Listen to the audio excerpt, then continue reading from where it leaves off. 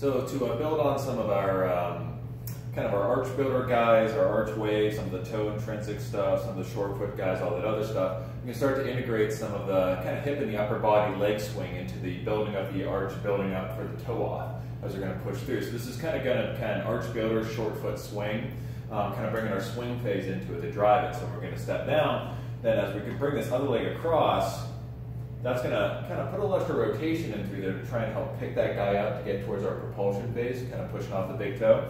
So we're going to build this up and then slow it down in sort of like an eccentric arch control. So usually give yourself a little bit of balance on this because it's a little wobbly at the beginning. But we're going to think of swinging this leg across.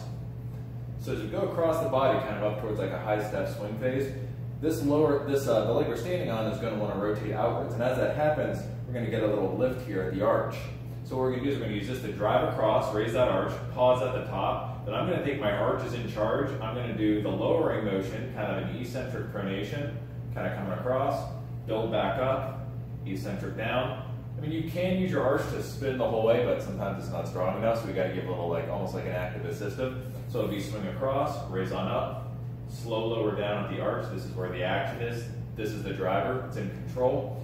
We can just go back and forth like that. Make sure we can get hands free. A lot of times I like to have big toe picked up on that to make sure we're really planting for the first MTP. Uh, there's a tendency on this that will start to grip down through the bottom of the foot and roll to the outside. So we get to here. Looks like an arch, but it's not really a true one. So we're not going to get that good toe off through here. We're going to be more off this ways.